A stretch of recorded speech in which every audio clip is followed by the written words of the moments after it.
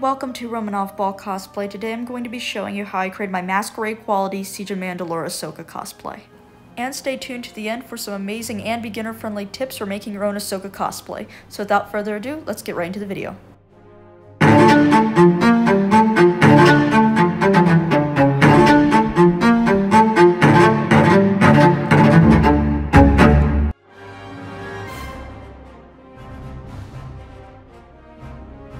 Starting off the materials, I have this beautiful navy four-way stretch spandex for her leggings. I think the texture adds such a beautiful element to the costume. Next, you've probably seen this navy cotton duck. I ended up using this for her gloves and her boot covers. Now for one of the most defining parts of the costume, the dress. This is Yaya Han's four-way stretch navy cosplay fabric. I really love the texture, it helps give a really realistic feel. Ending off the fabric, I use this beautiful gray wool for the cape. Finishing things off with these beautiful hematite beads, I ended up putting these on the shoulders of the cosplay.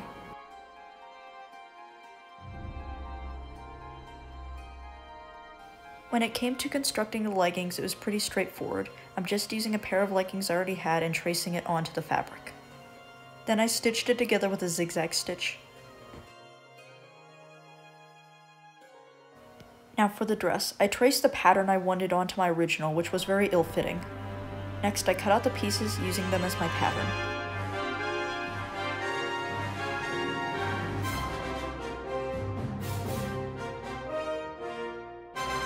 Now I'm just cutting out the pattern onto my fabric.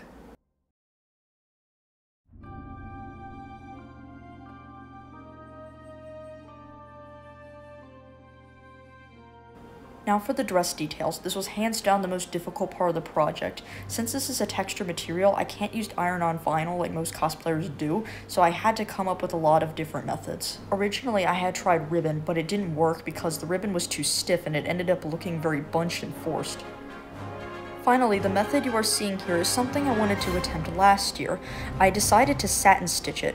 What you're seeing me do right now is I'm using tearaway stabilizer and drawing on the design. I ended up having to cut it out and whip stitch it onto the dress so that way it wouldn't shift, and then I used a 3mm satin stitch. I had to go over it a few times, but I cannot be more proud of the result.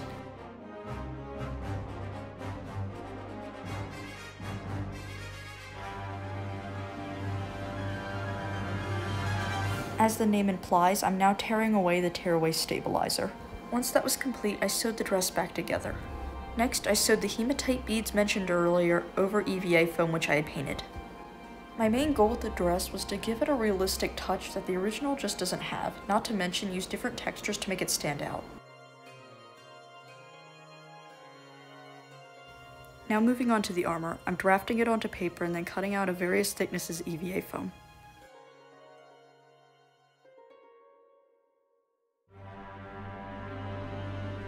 For the parts on the sides, I used my original for my first armor, and then I'm covering it in the same fabric I used for the dress to give it a unique texture.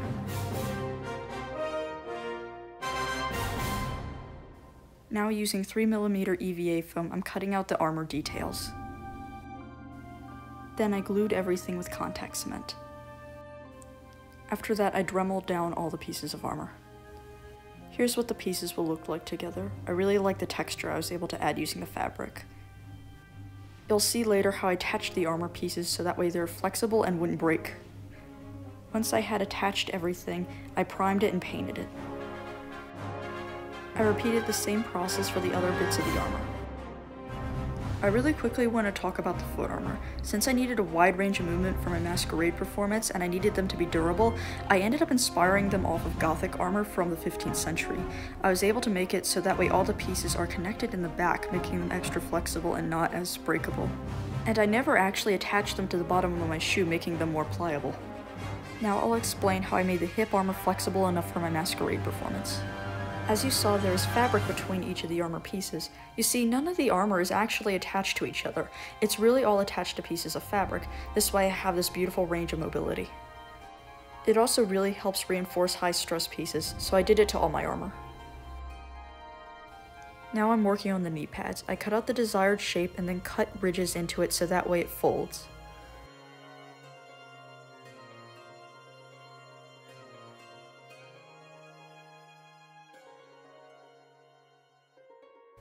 I heat shaped everything and then used contact cement to glue it all together.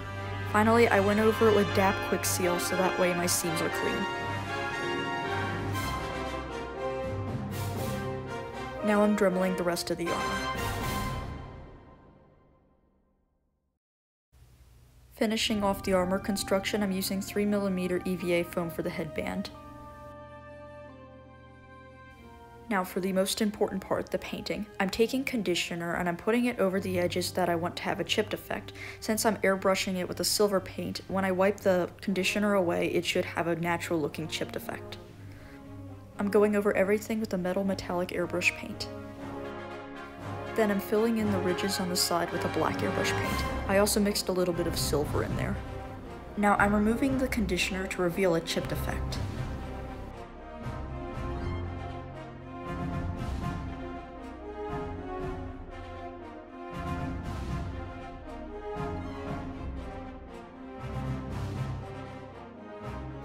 Now I take some watered down black acrylic paint and I paint over all my armor, and then I wipe it away giving it a much more realistic metal finish.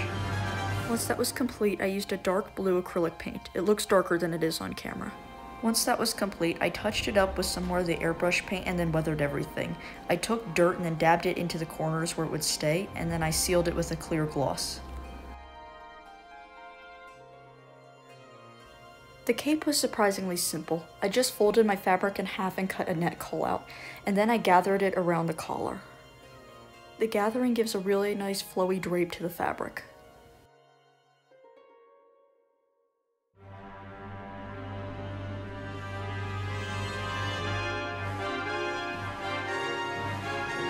Now for the hood, this was surprisingly simple. I basted it with a thread and then I sewed it with my machine. I just draped it over my montrals and it really gave off a nice appearance. Then for the attachment, I cut out a small square of fabric and embroidered the edges. I'm gonna put a magnet into the center.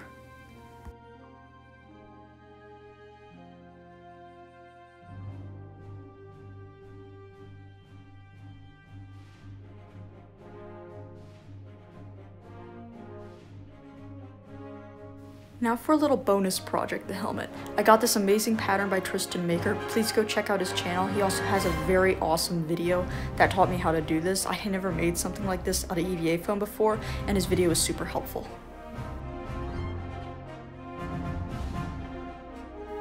Then I primed it and painted it with an orange acrylic.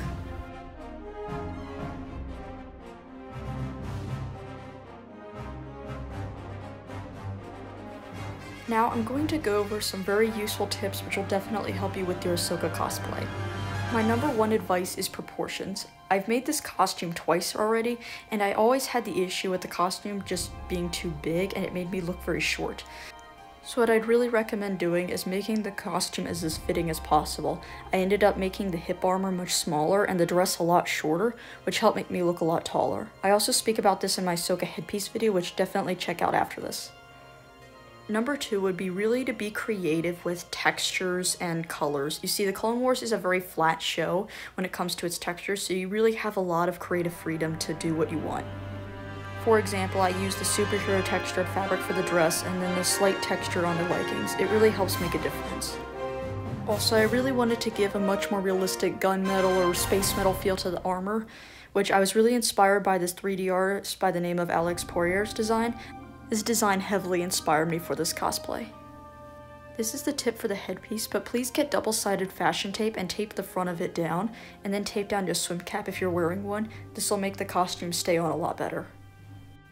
This is a tip that can be helpful for any costume. For something like LEDs, but you don't really know either know how to do LEDs or you don't have really the room to put battery packs, is to use reflective tape. I use this on the headband and her gauntlets and it works really great and I'm gonna end this off with a tip for painting.